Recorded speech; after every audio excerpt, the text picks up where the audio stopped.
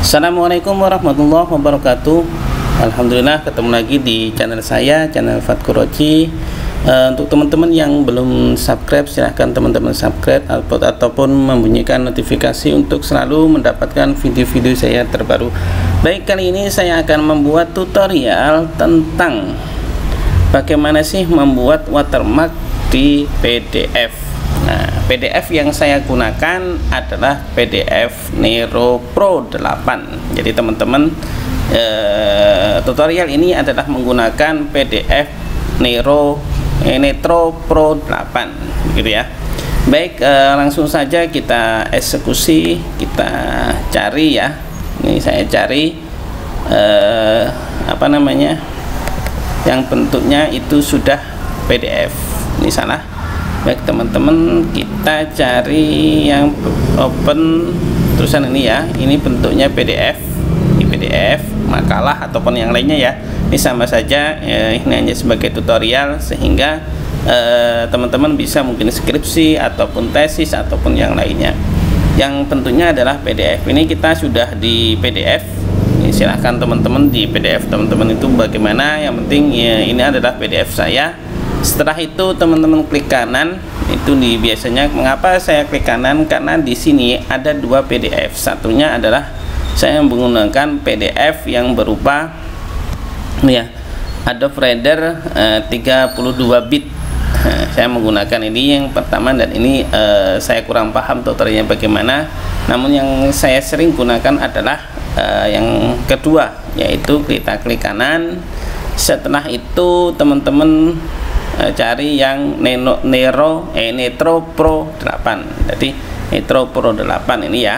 Ini Netro Pro 8 klik saja maka kita akan ditunggu untuk diarahkan ke arah PDF Netro Pro 8 jadi teman-teman mohon ditunggu. Nah ini adalah e, bentuk PDF Nero Pro 8 jadi bentuknya seperti ini ya kita langsung saja e, contoh ini di bab pembahasan lah seperti itu ya. Kita contohkan di bagian sini. Mudah-mudahan nanti teman-teman bisa paham. Nah di bagian toolbar toolbarnya PDF itu di sana ada file. Tulisannya di sana ada home di sana ada edit di sana ada review di sana ada from tulisan di sana ada protect di sana ada help atau e, Terusan yang selanjutnya adalah teman-teman e, lari ke bagian edit ya. Setelah e, kita terbuka Netro Pro 8 ini, teman-teman PDF ini teman-teman e, pergi ke toolbarnya PDF di bagian edit. Nah, klik ya. Jadi klik klik kok klik klik nanti akan diarahkan nah, ini adalah edit-edit yang bisa kita edit di uh, Netro Pro 8 langkah yang pertama adalah teman-teman harus uh, mencari watermarknya di mana. Nah di sini ya. Di sini adalah watermark. Di, di, di situ di samping header footer tulisan atau di batas number tulisan di sini ada watermark. Tulisan langkah selanjutnya uh, setelah kita menemukan uh, watermark itu teman-teman di sini ada kayak uh, apa ya segitiga ya. Di situ ada kayak segitiga teman-teman tinggal klik saja. Nah di situ nanti akan muncul akan muncul empat item ya. Akan muncul empat item. Item yang pertama adalah manage watermark dan background Terusan item yang kedua adalah apply to dokumen. Ini apply to dokumen. Terusan yang selanjutnya adalah edit watermark. Terusan yang selanjutnya adalah remove watermark. Jadi yang akan kita gunakan adalah di bagian eh, yang pertama yaitu di bagian manage watermark dan background. Kita klik ya maka kita akan diarahkan. Kita akan diarahkan. Ini karena sebelumnya saya sudah membuat jadi di sini eh, sudah itu karena kalau kita klik seperti ini klik seperti ini ini reviewnya bisa hilang. Tapi saya sering menggunakan seperti ini. Karena ini sebelumnya saya sudah menggunakan jadi saya harus hapus dulu. Hapusnya dari mana ini ya? Ini kan di sini ada tanda plus dan sebagainya. Teman-teman klik aja di bagian sini ini aktif ataupun sini. Nah nah sini saya akan menghapusnya. Saya add delete. Tulisan di sini juga saya delete. Jadi benar-benar uh, masih fresh gitu ya. Tulisan kita news profile kita klik di news profile ya. Nah dia akan membentuk profil baru. Apa yang mau kita namain yaitu watermark 1 nah setelah itu teman-teman tinggal di klik oke ini mati ya teman-teman ya. Nah klik seperti ini klik. Nah ini kan ada warna kayak biru gitu ya. Artinya itu tombolnya sudah aktif. Setelah itu teman-teman lagi ke add. Nah add ini adalah untuk memasukkan. Nah memasukkan. Kita klik. Tulisan apa sih yang mau kita masukkan ke bagian dokumen kita ini? Apakah tag apakah image atau kan PDF jadi bisa mungkin ya ini bisa untuk apa yang menambah pack ataupun yang lainnya.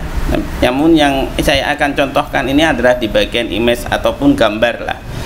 Jadi yang langkah yang pertama adalah teman-teman klik di bagian sini klik. Nah maka e, kita akan diarahkan ke bagian image. Ini ada watermark name image uh, add image kan. Terusan di bagian setting. Nah ini di bagian setting sebelahnya ini masih kosong. Terusan teman-teman borsen ataupun jelajah lah gitu ya. Di bagian ini teman-teman tinggal klik aja. Klik. Nah maka akan diarahkan kepada bagian gambar mana sih yang mau kita ambil gitu kan. Kita klik seperti ini. Silahkan teman-teman cari gambar yang diambil. Contoh ini contoh saja saya mengambil uh, logo seperti ini itu ya. Saya tidak uh, mereka apa pun ini saya mengambil contoh logo seperti itu. Akhirnya saya open karena ini klik terusan di sini sudah masuk terusan tinggal open. Open. Nah di sini belum belum open. Terusan akhirnya kita save terusan kita apply.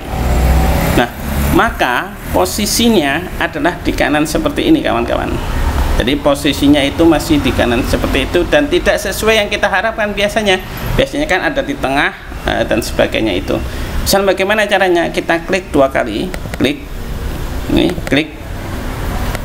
Oh salah. Bukan klik dua kali tapi kita ke bagian watermark sini. Terusan kita edit watermark. Edit. Nah maka dia akan membentuk hijau seperti ini. Setelah membentuk hijau seperti ini teman-teman tinggal klik dua kali. Nah klik dua kali maka kita akan diarahkan diarahkan kembali uh, kepada edit-edit yang bisa kita edit. Apakah yang langkah yang selanjutnya yang kita lakukan adalah uh, di sini di bagian opacity di bagian opacity ini agak dikurangin ya. Ini supaya uh, fontnya nih nggak bisa digeser ya. Fontnya ini ini kan tebel banget ini. Ini tebel banget. Jadi uh, saya biasanya menggunakan 30 lah. 30 persen terusan ini jangan overlay. Di sini jangan overlay tapi underlay. Klik underlay. Setelah itu di bagian sini ini ada jangan from left. From left itu kiri ya berarti. Terusan ini from top. Top berarti jadi ini ke kiri terusan ke atas. Ini kan ke kiri terus ke atas. Jangan. Tapi ini di bagian from ini from center. Supaya nanti ke tengah terusan di sini top ini juga di bagian from center. Jadi memang posisinya nanti di tengah. Jadi ingat ya ini bagian ini kita edit setelah itu kita save. Maka dia otomatis eh, dia otomatis arahnya ke tengah seperti ini. Dan ini pun masih kita bisa edit samanya uh, oh, kurang terang gitu ya. Maka kita klik edit. Di bagian watermark kita bagian edit nah tulisan ini kan hijau tadi aktif ya. Kita klik dua kali di bagian sini. Di sini kita terangkan 45% gitu. Terus tulisan kita save. Nah maka dia agak terang-terang dikit gitu ya. Gitu ya teman-teman. Kalau ingin agak lebih terang lagi ya tinggal teman-teman klik. Terusan klik edit lagi terusan ini diaktifkan. Klik dua kali terusan ini di bagian ini 67 samanya seperti itu. Maka dia akan akan lebih agak terang kembali. Oke? Baik uh, video kala eh video kala. Video saya cukup kali ini saja. Mudah-mudahan bermanfaat buat teman-teman sekalian. Saya akhiri. Wassalamualaikum warahmatullahi wabarakatuh